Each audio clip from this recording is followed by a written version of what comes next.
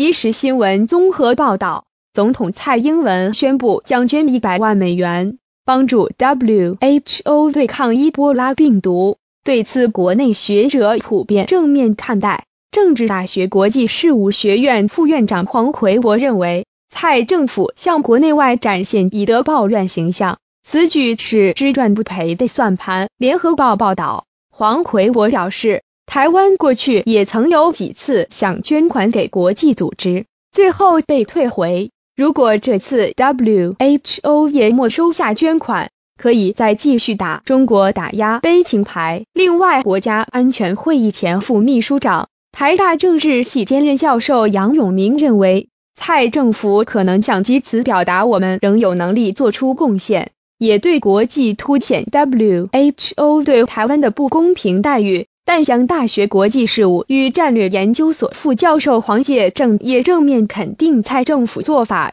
传达台湾虽然因为被排除而受伤，但仍愿意帮助别人，值得给蔡政府掌声。有声音质疑，台湾遭 WHO 拒于门外，为何仍要捐款？行政院发言人徐国勇指出，台湾早期在防治天花、蛔虫、沙眼等。也受到国际很多协助。如今台湾在医学研究上有自己的一番成果，应该要对国际健康做出贡献。